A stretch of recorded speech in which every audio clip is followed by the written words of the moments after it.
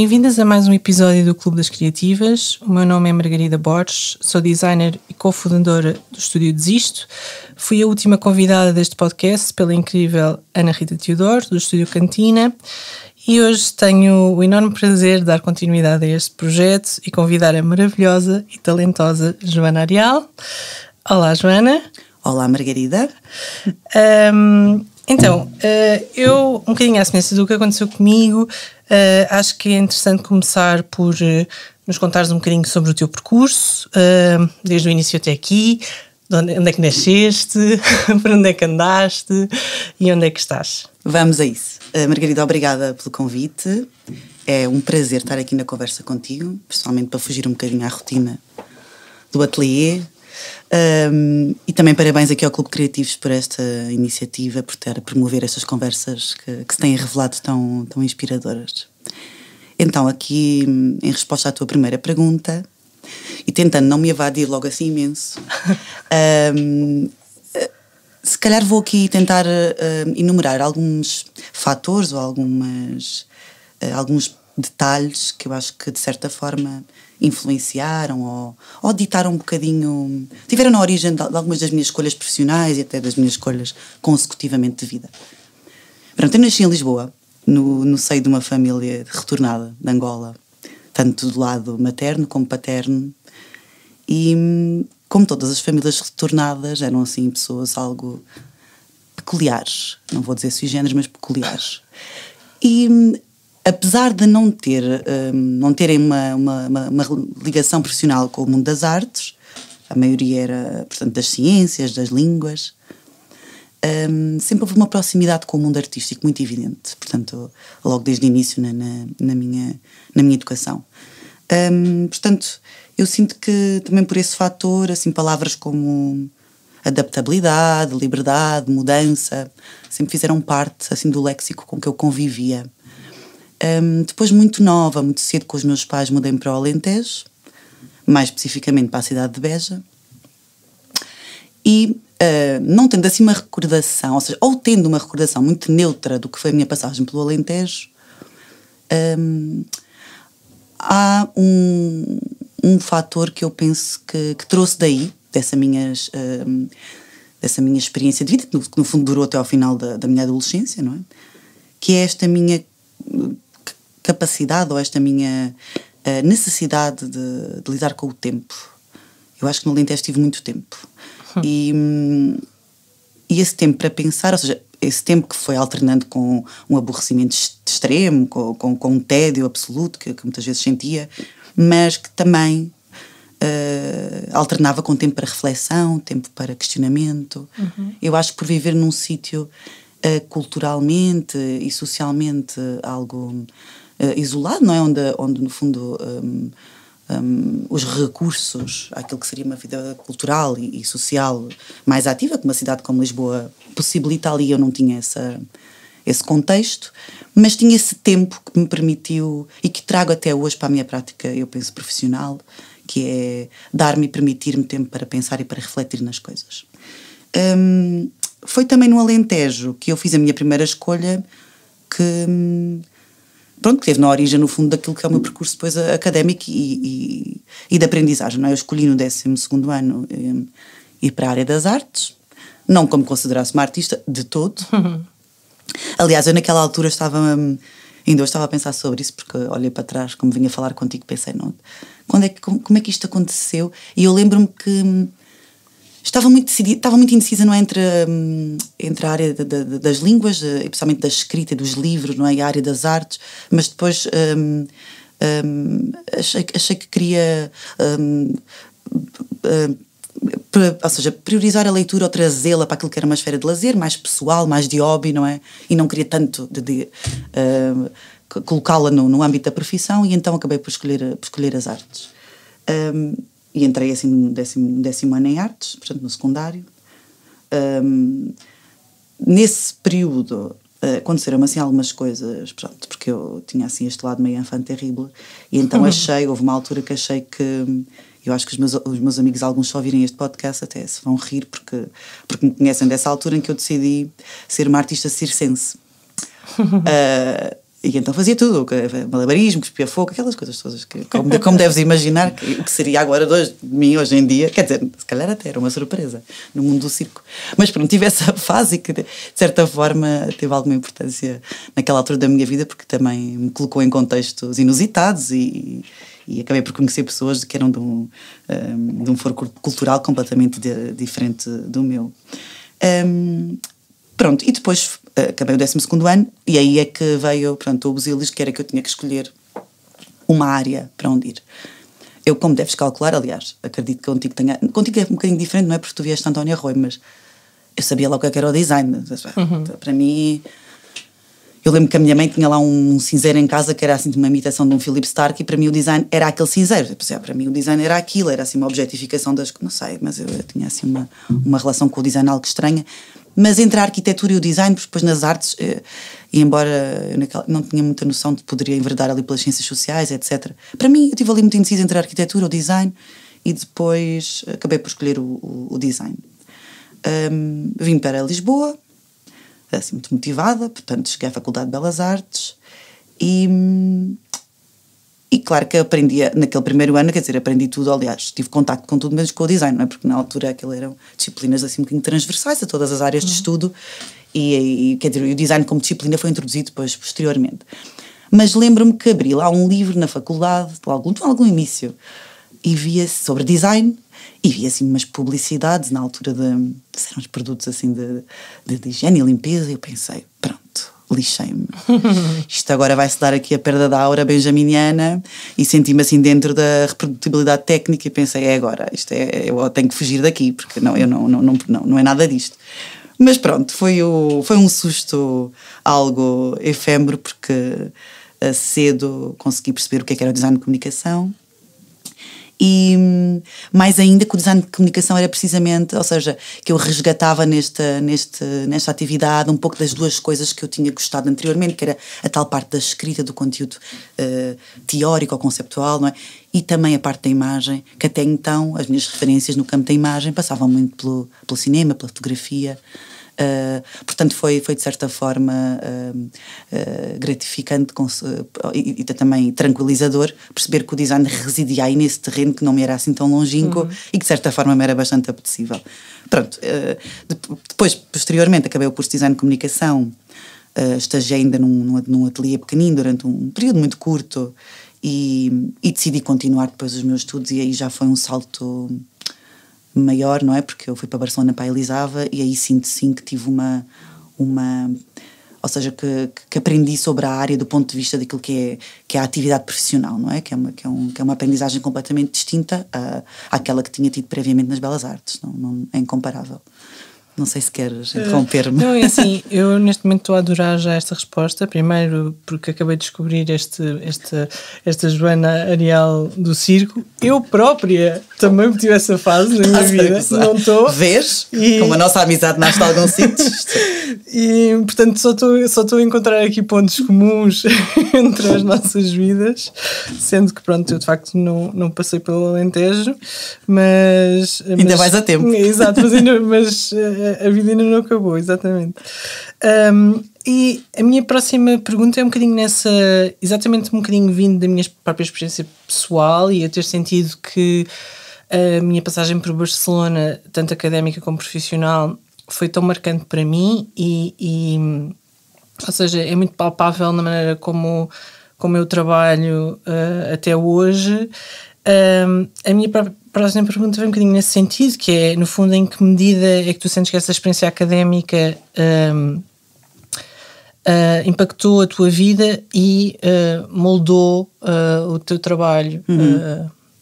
Sim. em diante? Uhum. Não, a passagem pela Elisava foi, foi, foi, foi de facto perentória aqui em algumas coisas na minha atividade. Aliás, nas minhas duas atividades neste momento.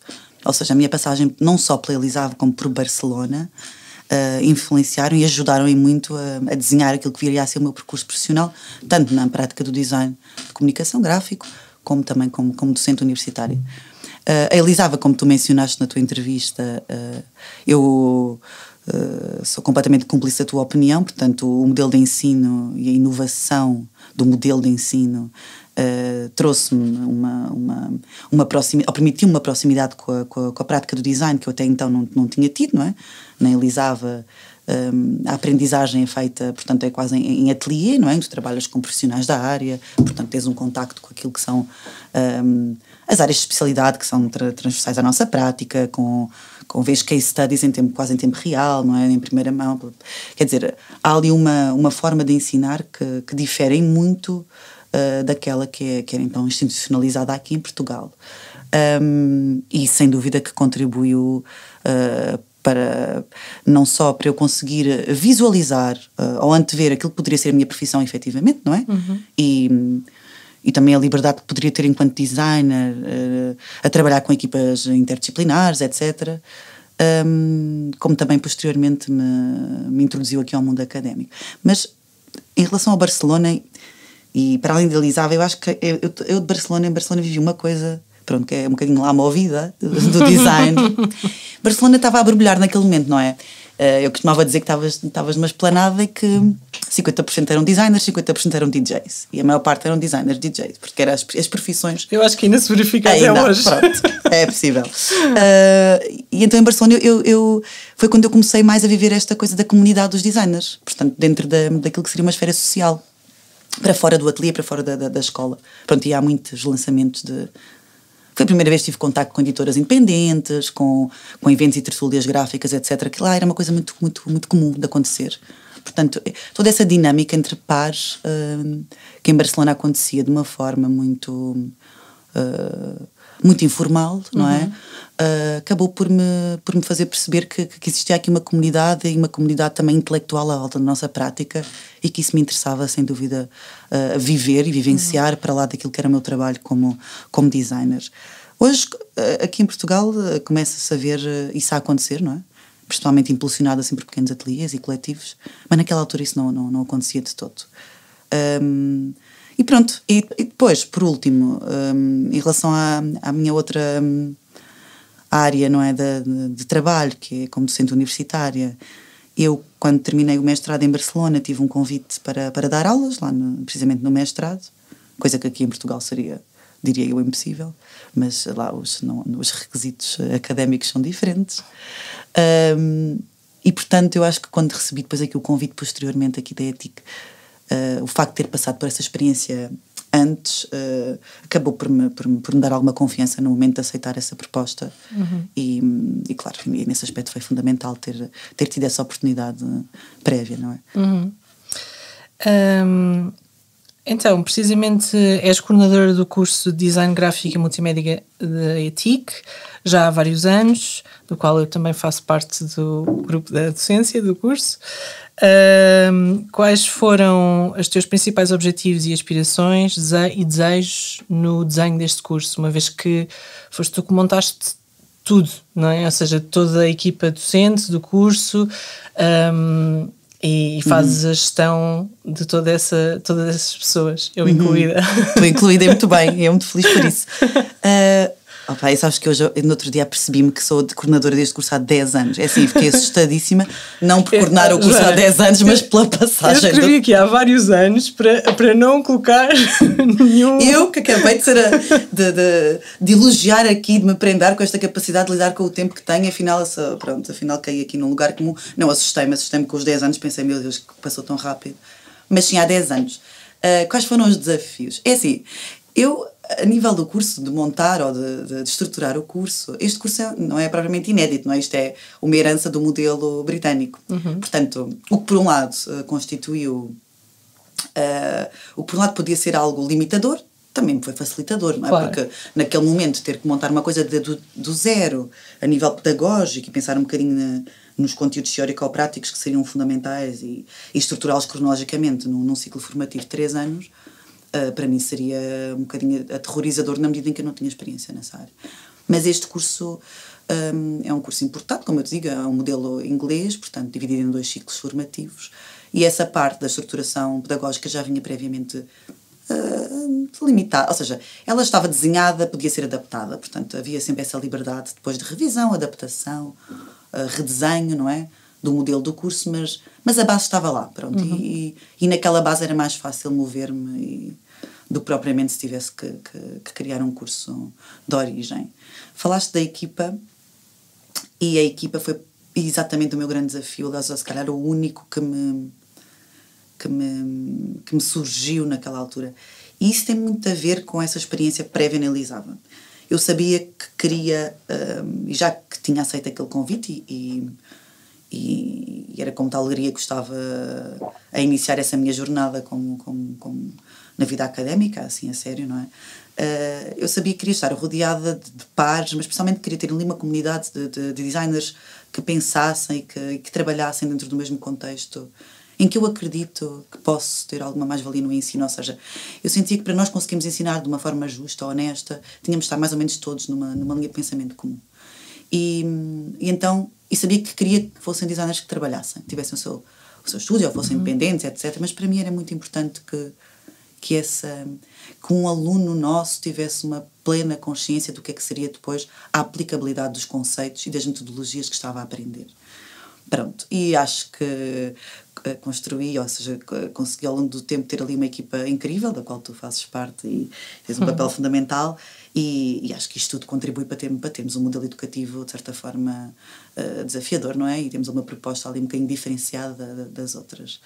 Uh, não sei se respondi totalmente. A... Não, não, respondeste. Isto para mim é quase uma pergunta com duas partes, e, e quando eu pensei nesta pergunta, naturalmente conhecendo e, e, e conhecendo também a evolução que o próprio curso foi tendo e que e as pessoas que foste convidando e, e, e que vens uh, convidando, porque há momentos que são momentos uh, esporádicos, não é? E que, não, e que se calhar não se repetem todos os anos, coisas mais do foro de um workshop e por aí afora, uhum.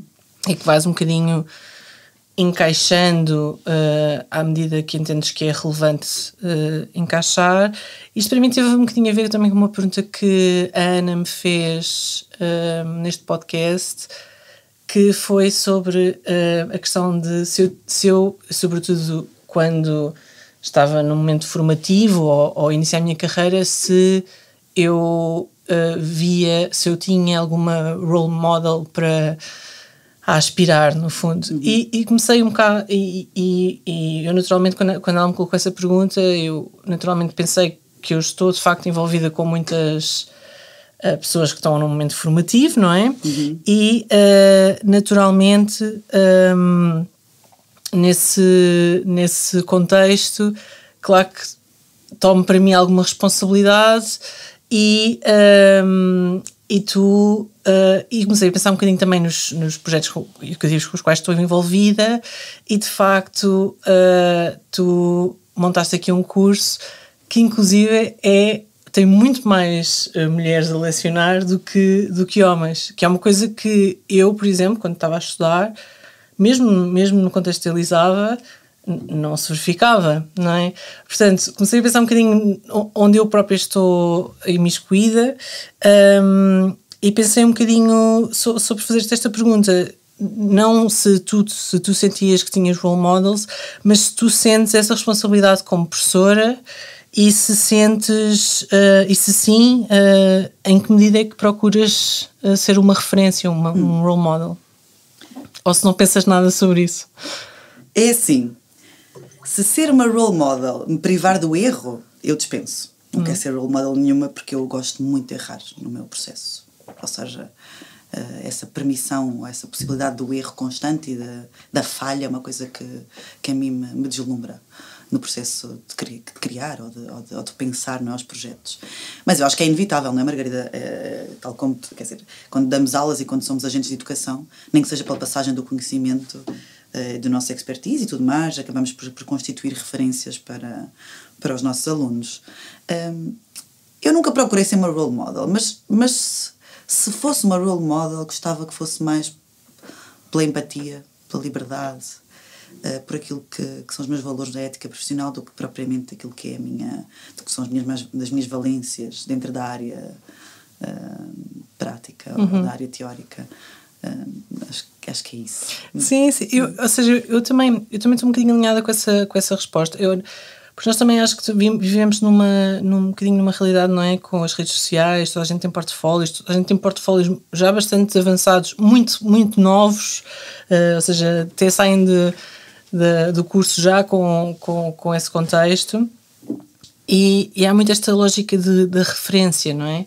E cada vez mais sentes que eu, eu sinto que a referência tem que, tem que existir por outro lado, não é?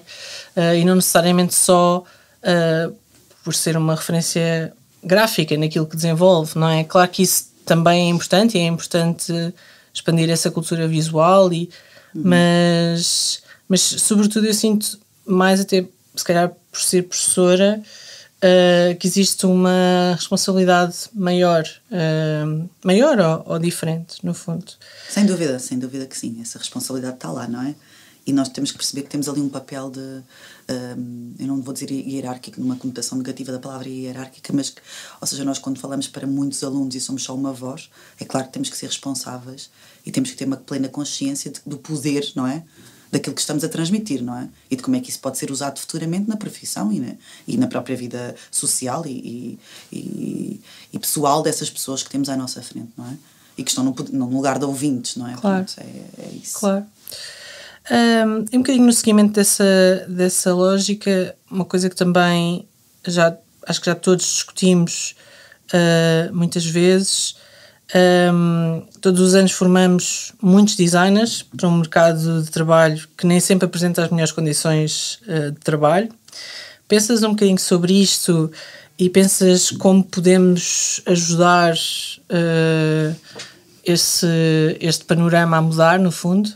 Hum, é assim. Eu não sei se podemos. É assim, eu acho que podemos sempre tentar ajudar. Não, eu acho que entre tentar e o conseguir, pronto, há aqui um um lugar no, no, no intermédio que, que, nem sempre é o mais, uh, mais simpático. Mas nós não estamos num panorama muito promissor agora para, eu acho que para nenhuma das profissões, não é? Acho que nem só o design, é, é no geral, não é? Portugal está aqui a, a enfrentar uma galopante inflação que inevitavelmente uh, acaba por afetar aqui as expectativas salariais dos nossos jovens designers, não é? E consecutivamente também a qualidade de vida, não é? Porque uh, não esta esta globalização uh, ah, um, e, e esta esta emergência não é que o capitalismo trouxe à criação desenfreada uh, acaba por trazer aqui vicissitudes na nossa prática que, que nós inevitavelmente temos que confrontar-nos com elas. Eu acho que nós como designers podemos ajudar unindo ou seja ou criando conversa à volta dos assuntos. Principalmente temos uma profissão que sempre foi, de certa forma, uh, desvalorizada, não é? Acho que a valorização da profissão é uma coisa que tem que, ser, tem que acontecer ativamente. Uh, aquela, a questão do estatuto do freelancer. Também acho que é importante falar-se um bocadinho aqui do que é, que é o freelancer e desmistificar-se aqui uma série de questões à volta do design freelancer e de como é que ele pode ser inserido em meios, em equipas e como é que isso pode acontecer em parcerias e, e criar aqui uma rede mais ativa de trabalho para que todas as pessoas tenham um lugar, não é? No contexto de trabalho ou no, no de, de produção do design. Um, mas principalmente juntarmos vozes, juntarmos as nossas vozes e, e tentarmos construir aqui uma comunidade de pensadores à volta de determinado uhum. tipo de temas. Eu acho que quando nós levantamos algumas conversas e algumas questões, já estamos a contribuir, nem que seja, para uma reflexão sobre determinados assuntos. Portanto, penso que nós conseguiríamos ajudar se fomentarmos estas conversas entre pares, se as trouxermos para a esfera pública se levantarmos questões prementes sobre aquilo que é o nosso papel, a nossa responsabilidade uh, e, e, consequentemente, valorizarmos a profissão, não é? Um, a vários níveis. Pronto, eu nesse aspecto que eu acho que nós poderemos efetivamente ter aqui algum papel uhum. na construção de uma nova ética profissional no design. Mas pronto, depois há as outras condicionantes que nós não conseguimos combater, não é? E que inevitavelmente, neste momento em Portugal, eh, assistimos aqui a uma degradação do. Eu diria da integração profissional dos jovens licenciados, não é? Eh, mas pronto, isso já são outras tantas. que daria origem aqui a outra, outra, outra, outra conversa e que tem a ver com esta precariedade da introdução dos novos designers nas agências, nos ateliês, etc. E que na realidade nós não conseguimos combater pela, pelas estruturas que nos consomem, não é? Por um, por um país que, nos, que acaba por nos consumir a nível legal e burocrático e financeiro. Portanto, uma, é como uma pescadinha da rabo na boca, não é? Às vezes há muita vontade, mas há poucos meios. Portanto, onde é que, onde é que nós nos, como é que nós trabalhamos com isto que temos? são essas as perguntas que eu me faço e é, e é nessa conversa que eu acho que podemos encontrar algumas respostas comuns que, um, que possam levar a conclusões que sejam que constituam contributos válidos na, num repensar da nossa prática e, e num repensar uh, da, da, nossa, quer dizer, da, do nosso enquadramento enquanto, enquanto trabalhadores, enquanto agentes profissionais numa área de especialidade, claro. sim. Claro. Não, e, e, e um bocadinho para além disso, ou seja, o design é muitas coisas e há muitos designers uh, que operam em muitas esferas diferentes, não é?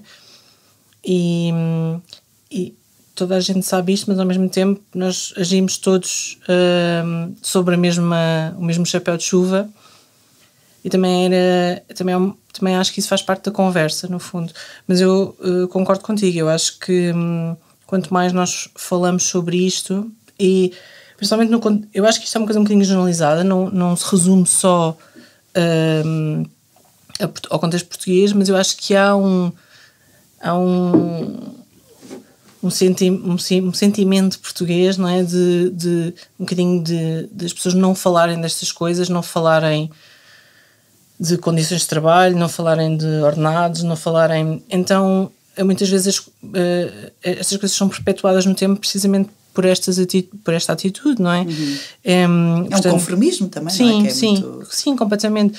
É um, é um, uh, sim, é um conformismo e eu acho que isso é bastante português, mas também acho que há um, um pudor, não é? Ou seja, de, de seres confrontado com uma, uma, uma situação que é ou melhor ou pior que a tua, e tu não sabes muito bem lidar com, com, com isso. Mas, boa. Um, vamos aqui, se calhar, avançar um bocadinho para uh, mais para outro campo profissional. Uh, a par do trabalho que desenvolves como coordenadora e professora, trabalhas ativamente como designer de comunicação. Como foi iniciar esta atividade como independente em nome próprio Uh, que desafios é que encontraste, não é? Já falaste que tu começaste por trabalhar com uhum. ateliês, mas uhum. hoje em dia trabalhas como designer uhum. independente. Um, uhum. sim, eu, o meu percurso foi assim um bocadinho, não sei se é ao contrário, mas eh, para mim pareceu-me ao contrário, não sei porquê, se calhar é uma, uma, uma visão meio um, singular da, da, questão, não, não conheço tantos, não sei como é que são os outros percursos, na, na sua maioria, mas eu comecei hum, comecei em ateliê, assim, onde eu tive durante 10 anos e, e não tenho e aliás é uma experiência que me, que me trouxe e que uh, aquilo que, é, que são as bases, não é? Uh, da minha prática, não é? Uh, como, como designer. mas houve ali um momento na minha vida de viragem e foi um momento bastante ponderado, muito consciente e muito ponderado, um, em que eu. E precisamente pela questão que referi há pouco, de precisar de, de ter tempo. Uh, em que eu já não conseguia, eu precisava de uma pausa naquele, naquele ritmo uh, de trabalho, que, que, com trabalho em ateliê, como, como muita gente no fundo me exigia, não é? Um, talvez porque na altura eu trabalhava num ateliê onde eu era designer responsável também pela, pela validação, pelo controle, pela monitorização do, do, dos processos e de, uh, de implementação dos projetos, etc. Eu acho que, que, que que essa, esse papel ou essa rotina quase standardizada que eu acabei por ter eh, me levou ali a um, a um período de cansaço. Um, e eu precisei de, de, de, recuperar o meu tempo e de ter algum tempo para mim e então pensei não eu vou vou tentar outra vou tentar outra coisa e lembro-me que vai das primeiras semanas em que, que, comecei a trabalhar sozinha. E, não, e, atenção que eu não trabalho sozinha não? porque eu acabo por, por, trabalhar com muita gente. Mas foi de repente perceber que podia passear a minha cadela sem ser às nove da manhã e sem ser às sete da tarde que havia outras horas do dia que isso, que isso era possível.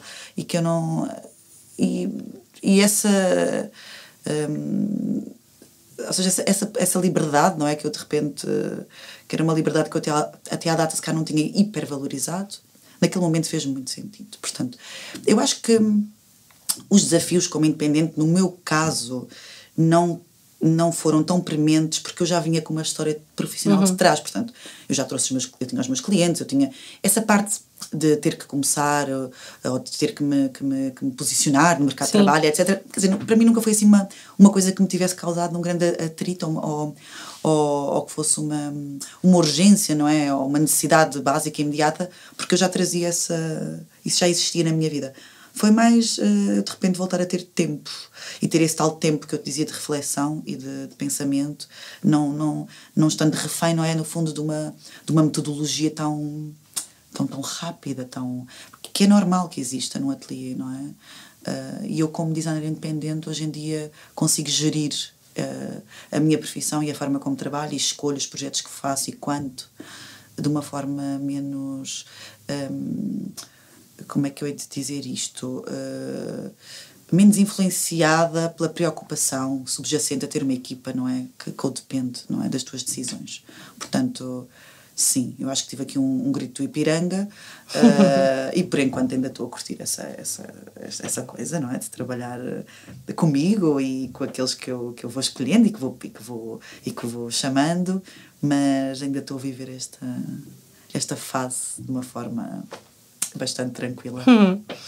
E um bocadinho uh, eh, um, a apanhar a boleia daquilo que estás a dizer, que, ou seja, que és designer independente, mas que ao mesmo tempo colaboras com uma série de outras pessoas, ou seja, colaboras com uma série de outras pessoas, sei eu, estou a anunciar aqui que colaboras às vezes criativamente, uh, uhum porque, porque entendes que o projeto uhum. precisa dessas pessoas também. Uh, nunca pensaste criar uh, oficialmente um estúdio com outras pessoas ou, ou, com. Pronto, hoje em dia já existem muito, muitos modelos, mas digo uma estrutura que de facto tem mais pessoas a trabalhar hum. sobre, sobre este, este, estes seus ideais, não é? Inclusive este, o do tempo e da flexibilidade sim, e tudo sim. mais. É assim, a verdade é que ainda não pensei, quer dizer, neste momento ainda estou a usufruir dessa liberdade, como te mencionei, mas obviamente tenho consciência que sim, que isso vai acontecer, ou seja, que é, que é quase inevitável que mais cedo ou mais tarde eu tenha que tenha que oficializar uma estrutura de trabalho, não é? Porque eu tenho tido projetos muito grandes e, e essa estrutura não ser oficial e não, eu não às vezes não, não ter um, uma relação de trabalho tão próxima com as pessoas com quem, com quem com quem acabo por partilhar eh, projetos e, e responsabilidades grandes, que também me dificulta ali um bocadinho também eh, o processo né, de comunicação, etc. Portanto, eu acho que essa equipa, naturalmente, ou eu abrir um ateliê, pode ser uma coisa que, que, que naturalmente venha a acontecer no, no futuro.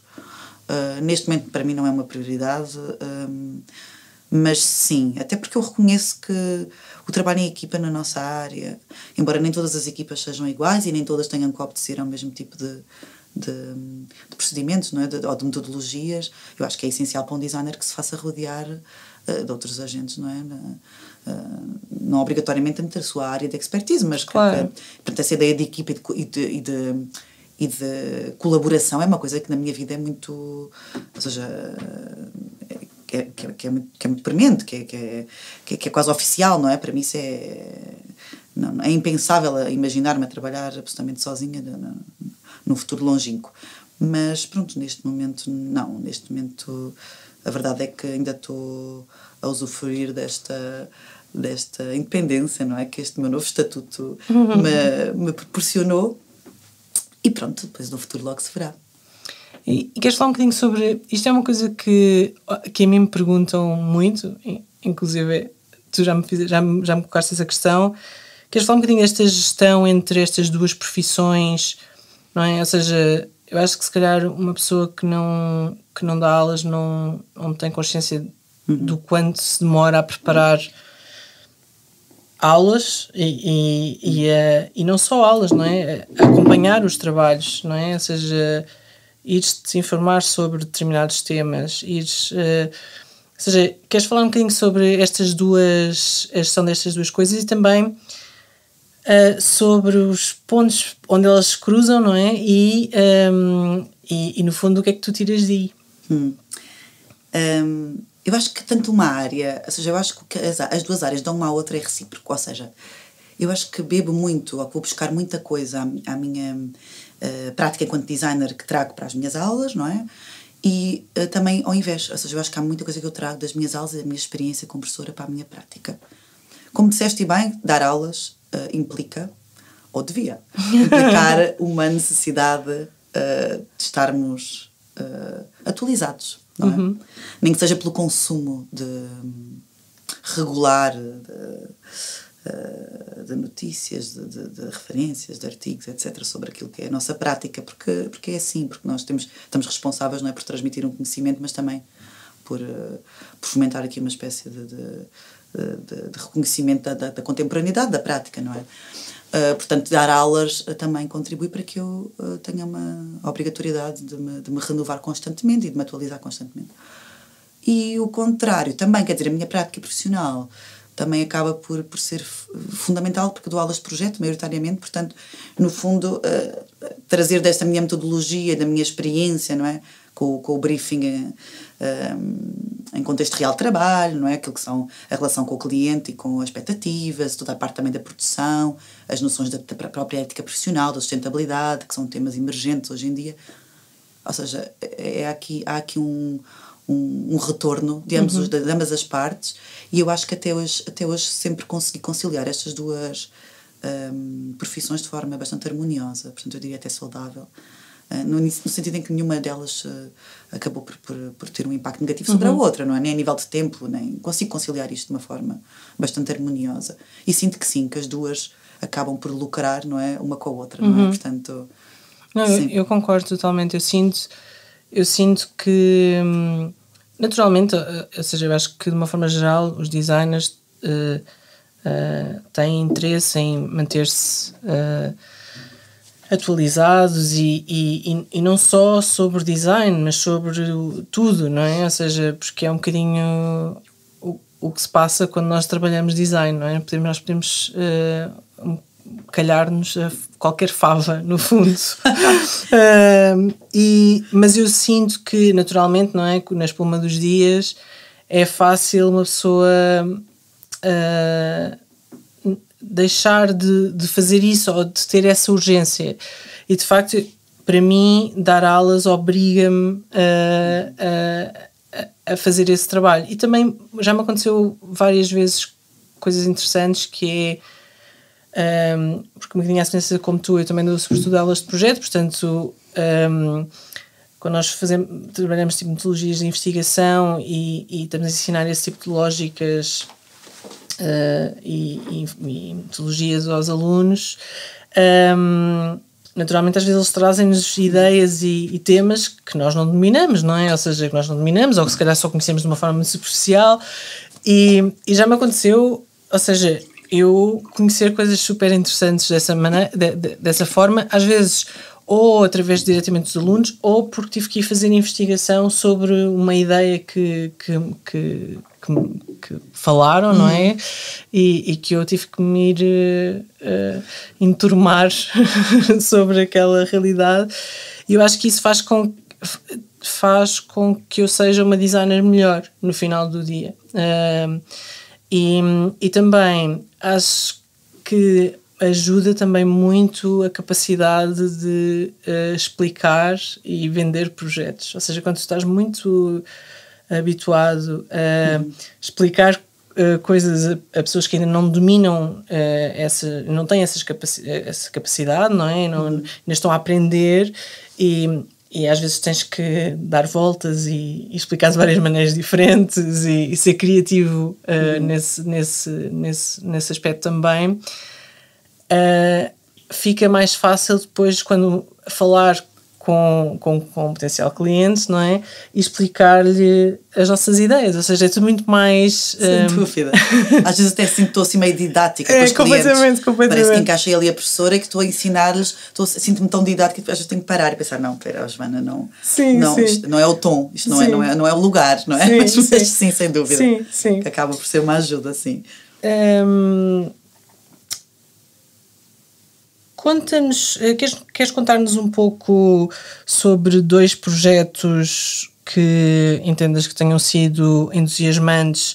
Seria interessante para mim, se calhar, ir buscar um antigo e se calhar um recente, aqui para explorarmos uh, as principais diferenças entre um e outro e, e, também se farias alguma coisa diferente no, no antigo ou até no novo.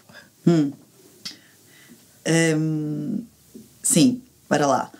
Se calhar, vou, se calhar vou falar sobre projetos mais a ver com, com as equipas, está bem? E com claro. daquilo para mim, propriamente sobre os objetos gráficos produzidos, mas posso, posso. Um, vou escolher aqui dois projetos que têm. Uh, que obedeceram a um princípio de continuidade, ou seja, com clientes e com Uh, com contextos em que eu depois acabei por trabalhar uh, ciclicamente. Isto porque eu acho que trabalhar ciclicamente sobre um contexto, sobre um projeto, acaba por trazer outras vantagens, nem que seja de facilidade de relacionamento, de apreensão da linguagem, de comunicação, etc. um dos primeiros projetos que eu tive, um, que foi a Moda Lisboa, Lisboa Fashion Week, eu fui encarregue pela imagem da, da Moda Lisboa durante cerca de 10 anos, ou seja, estamos a falar mais ou menos de 20 edições. Um, e eu gostava de trazer, eh, falar um bocadinho sobre isso, porque na altura o que, uma, uma das coisas que mais que mais, ou seja, com o qual eu mais aprendi foi com esta questão de, de, de trabalhar com equipas multidisciplinares, não é? Ou seja, estar, estar inserida numa grande, numa, numa equipa uh, bastante transversal naquilo que eram as funções de cada um, em que o design era só uma função no meio de, uhum. muitas outras. Uh, portanto, eu trabalhava com uma equipa fixa, salvo erro, portanto, se elas me ouvirem, se me enganar, desculpem, uhum. mas que eu penso que seria de 6, 7 pessoas, mas que depois no dia do, do evento, portanto, estamos a falar de 3 dias, se, se multiplicava em centenas, não é? Estamos a falar de 500, 600 uhum. no limite. Portanto, de repente, era uma mega produção. E foi aí que eu tive contacto com, primeiro, com esta questão da produção massificada de objetos. Pronto. E isto, isto responde à tua pergunta do que é que eu faria diferente. Uhum. Se calhar e também foi onde eu tive contacto com, com a produção em grande escala. Eu nunca tinha sentido essa responsabilidade da produção uhum. em grande escala. Uh, ou nunca me tinha posto nesse lugar de ser decisivo, de ter que, que, as minhas decisões realmente poderiam ter um impacto uhum. efetivo, portanto, um, nesse aspecto da produção e, de, e, da sustentabilidade que está inerentemente vinculada a isso. Um, na altura havia assim uma espécie de um fetichismo gráfico, é que eu lembro-me que nós fazíamos peças que iam ser colecionadas. Eu pensei, mas que, mas quem é que coleciona convites? Porque para mim era uma coisa assim do outro mundo. Eu, eu sempre colecionei, eu sou assim uma, uma eu coleciono os álbuns inter, todos da Bárbara Streisand, é? mas eu tenho as minhas, as minhas role models, são outras, vem do outro lado. Mas eu, havia ali uma coisa com o objeto, e isso, isso por um lado tinha uma certa magia, porque eu sentia que aquela peça tinha que, que, que, ser mais, tinha que acrescentar mais do que simplesmente um calendário de desfiles, que aquilo era um objeto, eh, de certa forma, romantizado, porque eu uhum. recebia, porque havia ali uma herança, não é? uh, que veio de trás, com o Manel Reis e com as peças do Lux e com a Mara Lisboa, com a Eduardo da Abundância, esta questão de de revestir não é o evento depois de, de no fundo de, de, de pequenos materiais de comunicação que, que, que, que que futuramente poderiam constituir uma memória efetiva uhum. sobre aquilo que tinha acontecido, até sobre o conceito e a imagem da própria edição. Uh, e pronto, e, e aquilo era uma panóplia de, de, materiais que sem fim, não é? Desde testes, desde passos em plástico, desde convites, desde, sei lá, lonas, era muita coisa. E eu acho que nessa altura, para mim, foi um desafio perceber, primeiro, que tinha que ser rápida e que a grande mestria aqui estava porque na, na capacidade de, de, de, declinação, ou seja, como a identidade não tem a ver com o logotipo, não tem esta coisa do logocentrismo, é uma coisa que eu desmanchei logo muito cedo na minha profissão, mas que tinha a ver com esta com este, com este mood, não é? com esta uhum. sensação que nós temos ao ver uma imagem. E essa sensação tinha que ser desdobrada com, com eficácia por suportes com características totalmente diferenci, diferenciadas. Um, e o que senti aí foi exatamente essa responsabilidade da escolha. Pronto. Um, e trago, e pronto, interessante ao longo do tempo, que é engraçado o que é que mudava, não, eu fui mudando, pronto, eu claro. hoje reconheço que fui mudando. Sim, é interessante, estás a falar de um projeto no fundo, não é? Ou Sim. seja, que te acompanha durante tempo, tempo, que naturalmente tu vais mudando. Fui mudando, fui mudando e, fomos, e, e, foi, e foi uma mudança que foi feita em equipa, como é evidente com elas, e que e, e também escolhi este projeto por ser, por ser, por ser feito necessariamente por mulheres e, e ser uma equipa, uh, pronto, acho que isso é faz sentido para o contexto desta conversa, e com elas sim fomos, fomos mudando e fomos repensando os formatos da cor para torná-los, uh, ou seja, uh, torná-los mais uh, friendly não é, para aquilo que são os dispositivos de comunicação atuais, etc. E que isso, obviamente, também, também afetou, no fundo, a minha metodologia e obrigou-me a revisitar, portanto, uhum. esse processo que, que eu até então tinha pré-estabelecido. Um, outro cliente ou outro projeto, eu vou falar, eu falo de cliente, mas uh, poderia falar de contexto, que eu vou falar agora, que também obteceu, é muito recente, portanto eu estou a trabalhar com eles desde o final de 2022, um, mas também obteceu aqui uma, uma certa uma relação meio cíclica, que é com o Museu de Salorra em Marrakech. Eu fui convidada para desenvolver a comunicação, portanto, da, das exposições uh, no museu e, e, já vou na quarta, se não me engano. Um, e pronto, isso, isso, sim foi assim uma, uma, uma experiência completamente fora do. do de, pronto, eu saí mesmo. Uh, fui mesmo uma realidade completamente diferente da minha, não é? E estamos a falar de uma realidade não só a nível cultural, como da gestão de equipas e de, de, o próprio trabalho com as gráficas, quer dizer, e trabalhar para Marrocos de repente, assim, do nada. E eu lembro-me que a primeira vez que fui uh, foi precisamente durante o Ramadão, portanto, eu de repente estava a trabalhar rodeada de pessoas que estavam numa privação uhum. uh, de comida e de. Seja, emocionalmente aquilo teve em mim uma, um impacto emocional muito grande. Porque eu não. Fui apanhada assim no meio do nada, num contexto que não era o meu, num museu que tem a história, não é? a envolvência que tem, uh, que já só por si isso constituía um grande desafio para mim, mas também estar no meio de uma equipa que estava claramente a viver aquela fase, aquele processo de uma forma, com condicionantes que eu não tinha. Um, e aí, isso tem sido um, um, desafio, tem sido um desafio a vários níveis. Uh, eu agora, por acaso, até estou numa fase que estou a. Passado 5 anos, acho que vou atualizar o meu portfólio. Hum. Uh, e, portanto, vocês depois vão poder ver também as coisas que eu tenho feito com eles. Um, e, mais uma vez, eu senti a questão da responsabilidade. Tem a ver com números, que tem a ver com quantidades, uhum. que tem a ver. Não que não tenha quantidades, não sei. Mas, por exemplo, quando eu faço um website e há um erro, não é? E eu sou aquela que privilegio o erro uh, sei que posso lá voltar facilmente e, e, e corrigi-lo. Ali não. Eu de repente tinha ali 20 mil, sei lá, milhares de catálogos, assim, numa gráfica em Casablanca, quando eu tive que ir de repente com um turista no meio do nada, em pleno ramadão, em que eu era a única pessoa que comia na estação de serviço. Aquilo tudo muito estranho. Eu depois não conseguia comunicar a língua, eles falam maioritariamente francês, aquilo, o inglês era difícil eu lá a arranhar umas palavras, nem sei. Encontrei em Marrocos isto, fugir, vou fugir aqui um bocadinho à pergunta, mas acho que é, que é interessante. Quando cheguei à gráfica em Casa Blanca, que eu estava à espera assim de uma coisa muito. Nem se calhar por preconceito meu, não sei, porque achei que não havia assim tanta produção gráfica uh, em Marrocos, mas, mas uh, pelo menos neste, neste género do, do offset, nesta. nesta e enganei-me porque eu entrei ali numa gráfica estando um tamanho que eu nunca tinha, que nunca tinha visto, parecia que estava no, no aeroporto, não é? Aquilo era, sei lá, aquilo devia ter umas, umas 30 máquinas de offset, eu nunca tinha visto uma coisa assim tão grande. Um, e claro, com os papéis e, o, e, a distribuição de papéis exatamente igual a que acontece aqui. Portanto, temos os homens ali na pré-impressão, naqueles que são os postos uhum. de, e na máquina, nas, nos postos de responsabilidade. Temos as mulheres depois na, lá na, na, nos acabamentos. E no, quer dizer, as linhas, as linhas de produção na gra exatamente, parecia que estava um espelho daquilo que eu vejo aqui em Portugal. Pronto, isto é só uma curiosidade, não quero com isto ser aqui nenhum comentário, nenhuma interpretação, mas a verdade é que eu senti essa dinâmica ali espelhada ou seja, não é muito diferente. Nada. Uh, e, e, felizmente uh, até a qualidade depois da produção também me uh, impressionou porque fiz peças de, quer dizer e a autonomia como eles geriram como interpretaram as referências que dei e tudo mais que funcionou bastante bem estou muito feliz com o trabalho deles pronto e tem sido um projeto que me tem levado para sítios um, para mundos ou para outro mundo que eu, que eu desconhecia tal como da moda Lisboa eh, me tirou do ateliê e me pôs no meio de uma equipa com 600 pessoas e, e que isso para mim na altura foi um desafio. Este aqui pôs-me num sítio que era cinema, não é? Eu de uhum. repente estava ali num sítio onde as preocupações eram minimizadas, onde se fala quase poeticamente sobre o papel do designer, não é? Uhum. Porque uh, e sem dúvida tem sido gratificante poder trabalhar nesse ambiente. Se mudaria, não, porque foi feito agora, portanto acho que não mudaria nada, mal de mim. mas daqui a um tempo posso responder à tua pergunta, mas por enquanto uhum. deixo tudo como está. Boa. Um, eu, acho, eu acho muito interessante essas, essas, esses dois projetos que levantaste. Acho particularmente interessante o, o da Moda Lisboa, não é? Porque, ou seja, tu falaste de facto durante muito tempo esse trabalho. Um, eu acho que também cresceste graficamente com esse trabalho, não é? Ou seja, é.